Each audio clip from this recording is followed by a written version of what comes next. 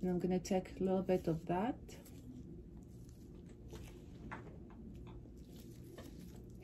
and I'm gonna apply to my hand. And I'm gonna take the oil cocktail. This is what I do every night, by the way. Every night. That's Mhm. fine. You know she doesn't wear makeup. This is her skin naturally. yeah, that was my reaction too. I don't like makeup. I feel like it's dirty. Yeah, Makes her my skin feels dirty. is insane, Masha. Yeah, no, Oh, feels so good. See, it mixed with the oil over the hyaluronic serum. So now your skin is going to be super hydrated.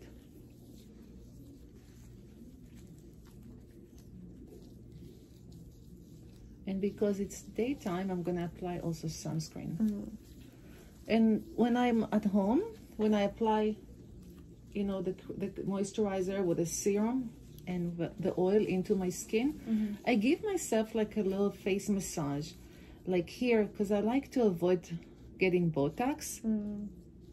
So I always massage here, the front line here, trying to relax the muscles and the forehead and the eye area, just with circles going in and out. Just like that. Mm. Until it all absorbs. So I give myself facial massage every day, every day. Every day. every day because I apply the products on every day, every night. In the morning, sometimes I'm rushing, so I don't have time. But my night routine, I always give myself a massage. Wow. You can do that. You can apply all these products on, Mhm. massage it, and then goes to sleep with the lights on, with your light machine. Really? hmm You wouldn't need Botox. I'm telling you, You know, I've been using the red light at night. it's perfect. Uh, I turn it on and I just put it literally next to my face. That's what I do. And Oh, then- it doesn't stop on its own. No, Oh, it's on the whole night. oh wow. Yeah.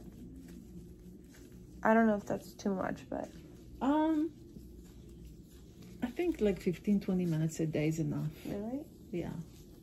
Anything that we do too much is not good. Are you doing it over dry skin or? Because it's your skin need to be moist when you do that. Really? Uh huh. For red light therapy? Uh huh. Had no idea. Yeah, because the light can dry your skin if the skin is not hydrated. Oh my god. Mm-hmm.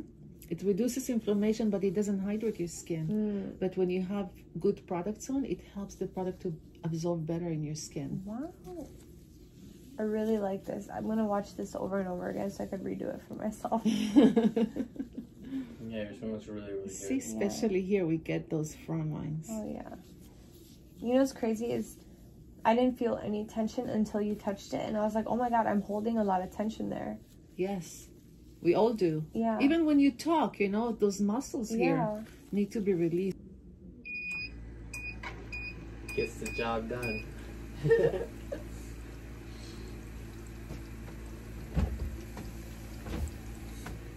Oh, it looks so good. It feels amazing.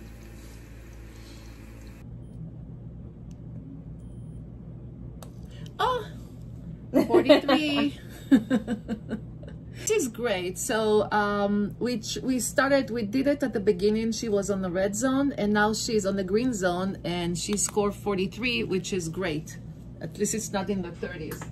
So perfect. The best is 50. So we can keep working on it. Perfect. And we already applied sunscreen, right? Yes, SPF Perfect. 50. Thank you so much.